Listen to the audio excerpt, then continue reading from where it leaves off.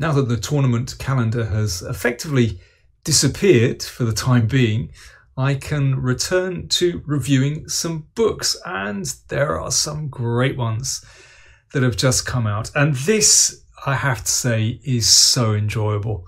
Uh, this is The Complete Chess Swindler by David Smerdon, published by New in Chess, newinchess.com. Well, I have to say, this is just so entertaining. Um, the book starts with this really nice anecdote. So, this is a game played in Tallinn 1971 between Furman and Smejkal. And here you can see that black is two pawns up and is drifting towards a win. And the game ended like this a check, that bishop was taken, and this pawn threatened queen. The knight came back, and now black's king just wandered over towards the knight.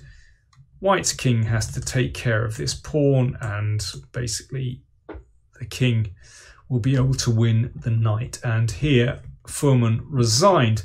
Well, let's just go back to this position. Well, after the game, Tal wandered by the board and asked Smejkal, who won the game, uh, what would you do if white had played knight b3? And Smejkal said, well, okay, I push the pawn, everything's fine. And Tal flicked out this move. And if black makes a queen, then that is a draw by stalemate. You can see that king cannot move. Ah, so Tal was walking away, and Smejkal said, Well, hang on, come back a second. What about making a knight? And Tal returned to the board and promptly played knight b3. And that's a draw as well. A beautiful move, of course. If knight takes knight, it's still a draw. Incidentally, even if black were to, to get a bishop here, well, you could even remove that knight and that's still a draw because you simply can't force the king out of the corner.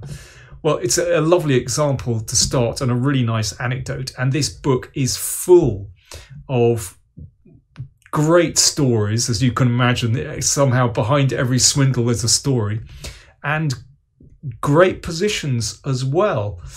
Um, but don't be fooled into thinking this is just about entertainment. In fact, this book is highly instructive. Um, and uh, in many ways quite a quite a serious book underneath it. There's a serious knowledge behind it. David Smerdon is a grandmaster from Australia. Uh, actually, by profession, he's an economist, an academic who teaches uh, and researches at university. And uh, as one might expect from some from from an academic, this is a very well structured book and it's very didactic as well. So uh, the the human psychology of swindling is broken down into very clear themes such as uh, hubris, impatience, um, oh, and so on. Um, and then there, there's a kind of uh, methods that one can use to exploit these kind of human weaknesses. So, in many ways, this is an antidote to computer chess. And there's a very nice example that shows that. Uh, this is one of um, David's favourite swindles, um, played by an Australian player, Ikeda, who is apparently renowned for uh, tricky tactics and swindles. So you can see here that, well, black has two pawns on the seventh. On one of these is about to queen, possibly both. White has built up an attack on the h file, but basically um, black is holding firm here because if pawn takes pawn, then simply pawn takes and the queen um, defends h7, black is going to win. So coming back to this position, if you were playing white, can you think of some creative way that you might like to try to bamboozle your opponent? Well, White actually played the extraordinary move Bishop G7. And this basically short circuited his opponent. Um, in this position, the computer shows there are no less than 47 ways for black to win this position, 47 different moves that actually win for black. But this induced panic and disaster, and the game ended like this. And white forced checkmate. Incredible. Uh, if you think that's luck, as I said, this player Ikeda has a reputation for this.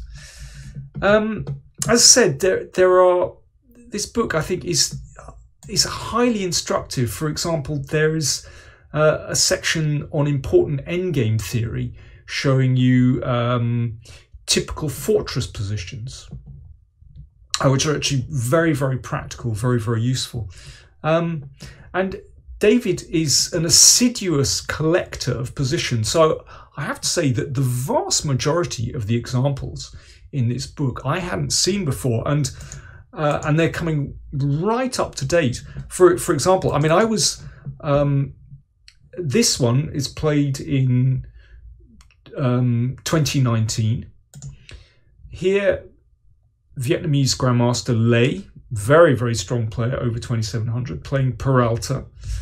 And here, well, you can see this pawn is on the seventh rank, but basically Le has played um, very carefully and, and he's actually very close to victory here. For example, if uh, queen d5, you can actually put white into a, a kind of zugzwang. This, this is typical. Um, let me just show you a typical technique. Basically, here well, white hasn't got a good move here. And this is Zugzwang. Um, the rook is going to have to move away from the pawn and black takes the pawn with a winning position. Or if king here, then you can play check and here, and that's actually checkmate. Um, so yeah, basically queen d5 is winning and black has played very well. In the game Queen's d5 was played. Um, sorry, Peralta played this with with black, and now Le uncorked uh, a a beautiful idea. This is this is like a study. Check, check again, and and this is a draw. If the king tries to escape by moving up the board, then you can see the queen is lost. And if the king goes back here, then rook b8 check. And obviously that is a draw by stalemate. So absolutely beautiful trick. Um, so yeah, it's worth knowing these kind of fairly basic positions as well. So um, I, I cannot recommend this book highly enough. Um, oh, I should add that there are uh, at the end, there are over 100 exercises to test your um, creativity and deviousness. Um, it's it's an excellent book. As I said, it's it's highly entertaining. There are great stories, but actually underneath it all, this is a serious study. And actually, I think it fills a real gap in chess literature. I think the, the, the subject of swindles isn't really discussed very much, and it deserves to be, and it has been done very well in this book. So there we go. It's called The Complete Chess Swindler by David Smerdon, available from newinchess.com, 24.95 US dollars. Thank you.